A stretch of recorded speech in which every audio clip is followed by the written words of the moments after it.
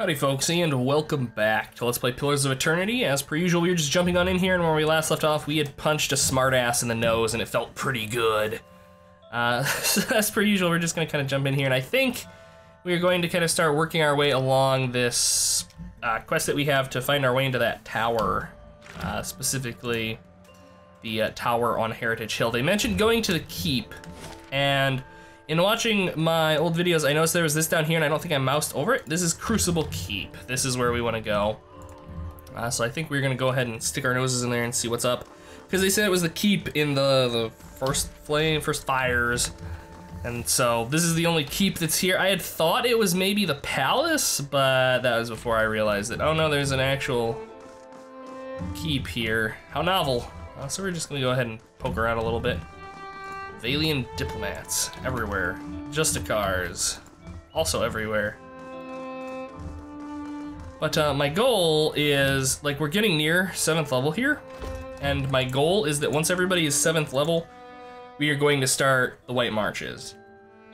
And I'm hopeful that, well, I, I shouldn't say I'm hopeful. What, what I plan on doing is doing all of the White March content, and then once that is done, coming back and basically just, I guess, mainlining the main story quest and see how that goes. What business brings you to the keep? Well met, friend. The Justicar gives you an appraising eye. Judging by the scars on his face, he's lucky to be able to do that much. Every day we get more from the hinterlands pouring into Defiance Bay. Keeps us busy on the watch, it does. You look like you're already, you've recently arrived yourself. Uh, who are you? A soldier of the Crucible Knights and proud of it. I help keep everything running at the keep uh, so that Commander Clyver can focus on more important matters. Looking for something or just knocking the dirt off your boots? What goes on here? This is the headquarters of the Crucible Knights, so it's where we store arms and armor, as well as where many of our soldiers bunk. Commander Clyver's in the back making plans as usual. He scratches a scarred cheek. You'll find the forge at the west end of the building, along with our master Smith Dunstan. There's also a shrine to the golem if you're a praying type. Uh, we don't really care about the Crucible Knights, so that's all. So Dunstan is to the west, which... Alright, so there's a, we have a forge, we have archives, we have a barracks, a barracks rather, war room, and a shrine of Abydon, which I assume is the golem. We have a barrel. We have nobody around. Yeah? We have in the barrel. Disappointment. We're not even gonna bother taking that because we can't. See, that's something they should give you as you level, is like perks that maybe your main character can take that let you carry more camping supplies or something. I don't know. We have another one. Oh, gold leaf. I don't know. Keeping quiet. Because I don't think she's noticed. I've got it. Oh man. Finished. Get in there. Two Parados, they're worth 50 apiece, take them. Aha! Sneaky. Sorry about the planes in the background, I'm recording this during the day. I had planned on recording it during the night, but I got home from work late and was tired, so I went to bed instead. If this is about So you guys get breastplate, planes. I already told Clyver they won't be repaired till next week. Well, we can show them the pieces of the sword that we found in the, uh, the paths of Caed Nua back at base. I found several fragments of an ancient sword. Do you think you could repair it? Dunstan gives a low whistle. It's a fine blade indeed. He holds one fragment in his rough hands. Looks a Aedyran, special made. Must have been a commission for a champion of some sort. He hands the shard back to you. Sword of this caliber would have had a specially designed hilt, too. It would be a shame to graft anything else onto it. And besides, it'll balance best with all the original pieces. Find the rest of it, and I'll forge it for you. Something else on your mind? What do you do here? I'm a forge master. I'm a master smith for the Crucible Knights. But the way I see it, I'm also keeping up with our old traditions. The first members of our order were smiths. Nowadays, most everyone's a professional soldier. I suppose it's to be expected, but I think it's important we keep up with our roots, too. All right. Well, why don't you tell me about the knights? We were all smiths back in Hodred's day, though I'm about the only one here who still gets his hands dirty. We're a fearsome fighting force, though these days I think Clyver takes more pride in our parade formations. He thinks himself a progressive man, but he's obsessed with soul lineages and connections to the Dyrwoods heroes of old. He picks up his hammer again. Other than Dunryd Row, we don't really know any about that, though. Who really knows any about that, though?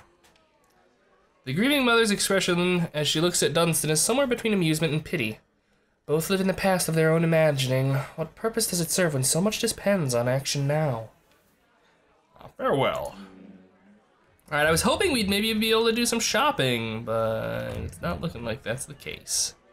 Twins of flame, look at the forge, hissing with smoke as hot as a dragon's breath. How do you measure that? Like, you guys got thermometers? Tongs, hardies, hammers, fullers, and punch tools hang from the wall. They feel heavy and sturdy, but their flame darkened surfaces testify to frequent use. Right. Okay. Penhelm. The blades are razor sharp. I like to imagine it's like okay, so the, he's in there working, and like a party member just goes up and like picks these things up. Is like, yeah, these these have good weight to them. And then these, like somebody goes up to them and is like testing the blade's edges. Good day to you. Penhelm. The young Novitiate's armor is recently shined and his hair is clean and neatly combed. It's hard to believe he's ever seen battle or that the scarred antique breastplate he wears could possibly be his. Are you looking for something? Uh, we... Like, alright. Swell would not... Swell does not care about the Knights of the Crucible. Like, Swell was just being polite with the dwarf because he seemed like he had a story to tell. So we're not gonna ask how to become a knight. Farewell. Swell's a, a paladin of the Gold Brand Order or whatever. Ah, I remember. Gold Pact Order. He's already as close to being a knight as he's ever gonna get in his life. So barracks. I think we might want to go to. I think the archives. I don't remember the name of the guy that we're looking for, but it's probably a good idea to just poke around anyways. And we have apparently discovered a location. No, go elsewhere. I was gonna. There's like a bunch of stuff here. Record of active patrols and reported crimes in Ondra's gift. The latter far outnumbers the former. Get out of here. Leave. Yes. Yeah. Yes. All right. Penhelm's affidavit. Take that. Uh, Blacksmith, nah. I'll get it open. Yeah, you will. Finished. Appl- Absolutely nothing worthwhile. And an edict of arrest. All right. Oh, a quest for that. Unwanted. The Crucible Knights are calling for the arrest of an Orlan man named Aorn. Apparently, he's eluded capture thus far, though the Knights continue to hunt for him. All right, let's have a look at some of these things. What do we got? Can't remember where these are. Are these both gonna be quest items? Yes. Okay, so Edict of Arrest. Calls for arrest of Aorn, whose recent actions have led to the death of a Knight of the Crucible. It appears reporting any information is, uh, it requests reporting any information to Justicar Aldmer. It is signed Commander Clyver. Alright. And Penhelm's affidavit. Curran, a cipher duly appointed and employed by Dunryd Row, does hereby certify that no Novitiate A.M. Penhelm has been found to have a soul free of any subversive influences or tainted essence. The scroll is stamped with the seal of Dunryd Row and signed by both Penhelm and Curran. Okay. Let's get rid of some of this crap floating around in Goldleaf's inventory. Get that, get that, and that. Alright. Hmm.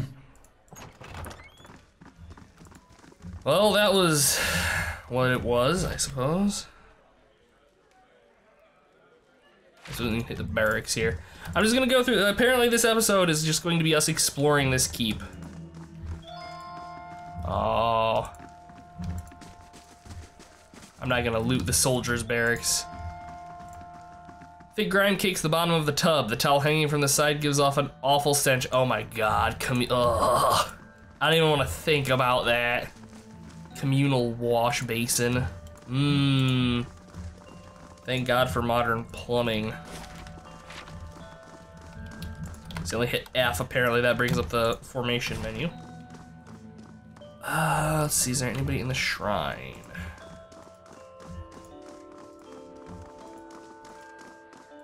No, just a shrine with an altar. I wonder, hmm.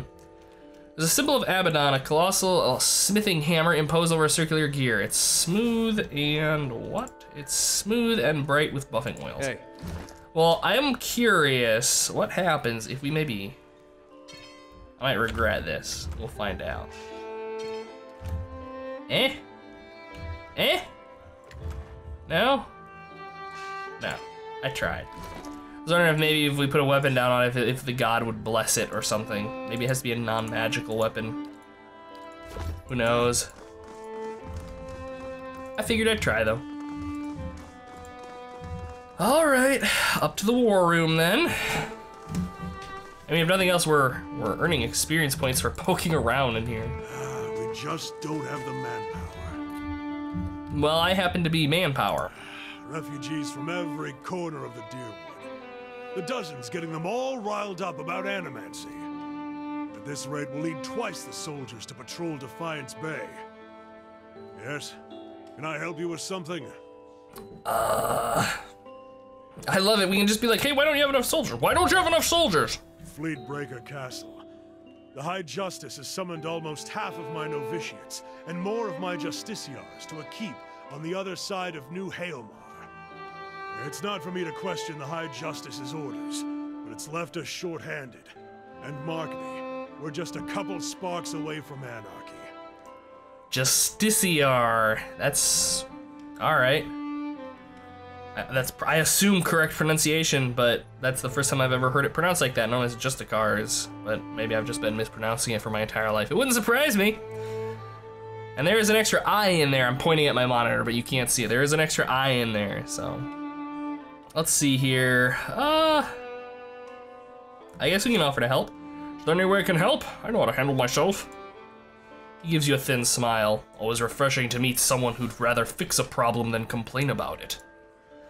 Forge Master Dunstan is working with an animancy scholar to build what we're calling Forge Knights, warriors that can patrol our streets without suffering fatigue, disobedience, or fear. Some agitator throws a rock at him, we don't have to worry about things getting out of hand. He's constructed the armor, but we need the scholar's research. Fortunately, she hasn't been around the last few times my novitiates have checked. Fiona lives with her and the rest of the Scriveners out in Copper Lane, but I haven't the soldiers to spare at the moment. Go to the Scrivener's dormitory and see if you can find her. When you get the research, just bring it to Dunstan. This is an area of expertise, anyways. Once you've brought him the research, he can sell you. Oh, there we go. He can sell you any arms or armor if you have need. He forges and repairs all of our equipment. You won't find a more capable smith in Defiance Bay.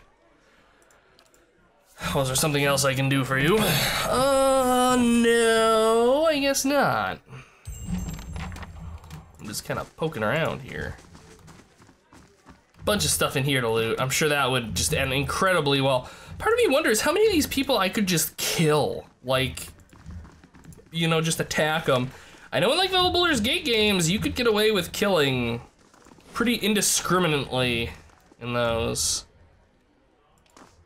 Alright. The training room. Let's talk to Wyla. Uh, the, yeah, there's a there's an eye in there. The Justiciar's glaze flicks over to you briefly before returning to the novitiates gathered in the training area. This is about patrols. My novitiates are already stretched to their limit. Between the refugee influx and the mass at Heritage Hill, I simply don't have any units to spare. After a moment, she looks at you again. I'm sorry, was there something else you need? Oh, oh, here we go. Something wrong at Heritage Hill? She lowers her voice.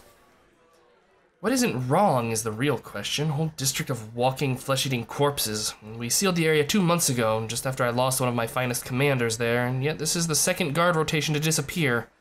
There are already enough rumors about the place floating around the keep without my soldiers whispering around about these disappearances. She shakes her head. I'd just as soon abandon the district, but if those monsters should find a way out. I could look into it. She steps back and regards you. After what I've just told you, you want to go into Heritage Hill? I've lost trained soldiers there. Why should I let anyone in? Well, if people are disappearing, someone's got to figure out what's happening to them. If you're so eager to rush to your death, I won't stop you. She quietly lo- looks on at the nov- novitiates. And if you're somehow able to put a stop to this, you've got my permission to enter Heritage Hill. I'll send word to the guards at the gate. Why don't you tell me about Heritage Hill? Used to be one of the most prestigious districts in Defiance Bay, but a few months ago the residents all went mad, started eating each other and anything else that had the bad luck to wander into the district. Never seen anything like it. Now, every novitiate that stands guard there, every one that comes back anyway, talks of the stench of the grave and the groans of unspeakable horrors. She holds up one plate clad finger. The why and how are questions for the animancers. I've sealed the district in hopes of containing whatever happened there. It seems to be working, for now. There's nothing else, I must attend to my duties. Farewell. I think it's pretty obvious what she does here. She's training the, the novices. But alright, so now we can get into Heritage Hill, and we got another quest, so that's okay. Fast forward, go! Oh, there's another entrance right now. I didn't even see this one. Okay. So I'm gonna check my journal really quick. All right, so we can get into here. We have not done the hermit yet. And then we just got missing sentries. No. Because I would like built to last. Yes, all right. I would like to do this. Um, because it'll get us access to their smith as a shop. And I'm okay with that. So we'll probably work on that first and then go to Heritage Hill. That seems like the the proper way to go about this. So it was in Copper Lane, I believe. Uh, yes, Scrivener's Dormitory in Copper Lane. Let's see here, and we'll just go fast travel to Copper Lane. All right.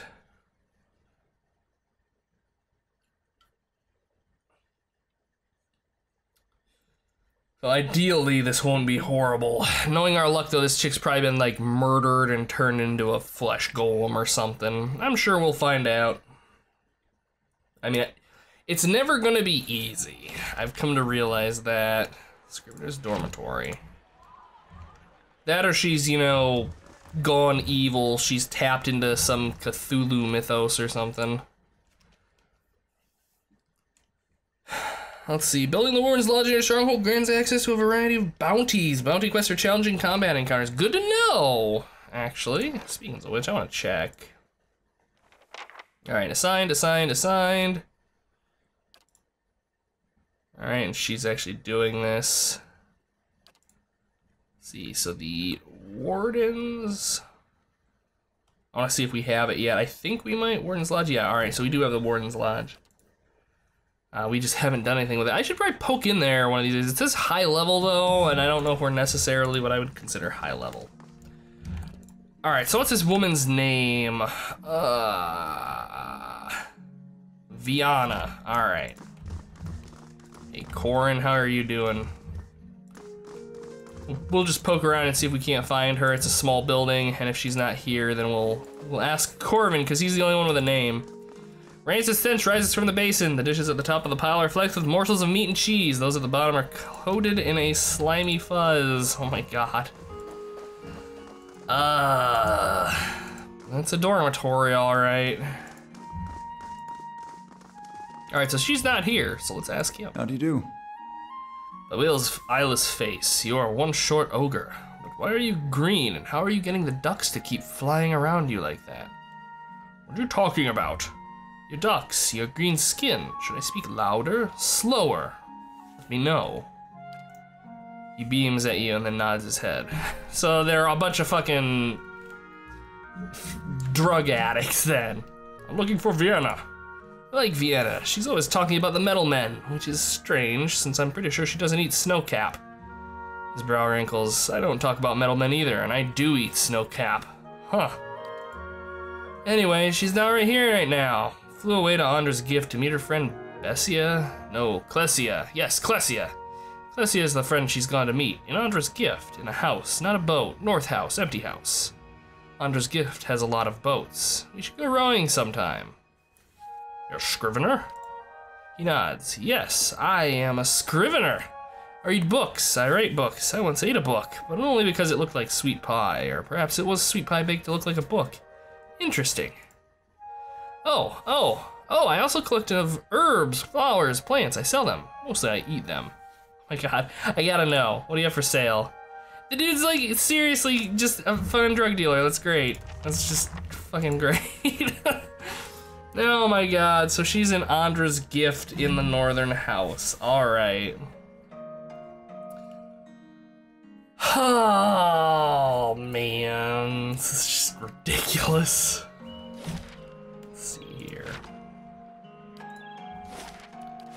This. Where is Ondra's gift? All right, it is the south. So we will. Uh, I will get us to this house that she's at, the entrance, and then probably call it an episode because we are at about 20 minutes. Okay, Ondra's gift. I've, I've always liked the world maps in these games. Part of me wishes they still did cloth maps for a reasonable amount of money because I would probably buy one. I, I'm pretty sure you could actually, when this was on Kickstarter, you could back it at a level to get a cloth map, but it was like 150 bucks or something. And it's just like, I like cloth maps as much as the next guy. And a cloth map is a, a way to guarantee, oh yeah, here we go. A cloth way, um, cloth map is very enticing to me, but not for 150 bucks. I'm sorry. All right. So this is the house. We can look at it. The grinding windows have been papered over from the inside. Interesting. Uh, but we're gonna call it here. I apologize for a slightly less exciting episode, but every so often we've got to do, you know, not violence so that we may then get access to doing violence. And that's probably going to happen next time. So, as per usual, folks, thank you for watching. Hope you had a good time, and I will catch you all next time when the adventure continues. Until then.